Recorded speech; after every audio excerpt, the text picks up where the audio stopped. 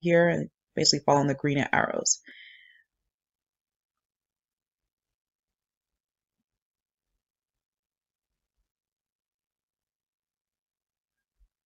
Okay, great. So